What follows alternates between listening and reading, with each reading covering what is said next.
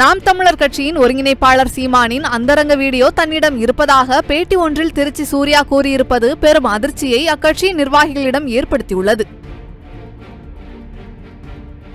நாம் தமிழர் கட்சி குறித்து கடந்த சில நாட்களாகவே ஆடியோக்கள் வெளியாகி அரசியல் வட்டாரத்தில் பரபரப்பை ஏற்படுத்தியிருக்கிறது. மேலும் பாஜகவில் இருந்து வெளியேறிய திருச்சி சூர்யா தற்போது நாம் தமிழர் கட்சி குறித்த மர்மங்களையும் கட்டவிழ்த்துக் கொண்டு வருகிறார். இந்நிலையில் இவர் அண்மையில் அளித்த பேட்டி ஒன்று பெரும் பரபரப்பை ஏற்படுத்தியிருக்கிறது. அந்த பேட்டியில் பேசிய திருச்சி சூர்யா தான் வெளியிட்டு வரும் ஆடியோக்களால் சீமானை கண்மூடித்தனமாக நம்பிக்கொண்டிருக்கும் தொண்டர்கள் அந்த கட்சியை விட்டு வெளியேறி இருப்பதாகவும் அவர்களை காப்பாற்றிய சந்தோஷம் தனக்கு போதும் என கூறியுள்ளார். சீமானின் இந்த ஆடியோக்கள் மூலம் அவர் அவரின் உண்மையான சாயம் வெளுக்க தொடங்கி இருப்பதாகவும் தன்னிடம் இருப்பது போல ஆடியோக்கள் வீடியோக்கள் எல்லாம் சாட்டையிடம் இருப்பதால் மட்டுமே சீமான் சாட்டைக்கு பயப்படுவதாக அவர் தெரிவித்துள்ளார். மேலும் தன்னிடம் சீமானின் அந்தரங்க வீடியோ இருப்பதாகவும் அதை வெளியிட்டால் கட்சியே காலி என கூறியுள்ளார் திருச்சி சூர்யா. மேலும் விரைவில் அந்த வீடியோவை வெளியிடுவேன் எனவும் கூறியுள்ளார். இது நாம் தமிழர் கட்சி நிர்வாகிகளிடம் கடும் அதிர்ச்சியை ஏற்படுத்தியிருக்கிறது.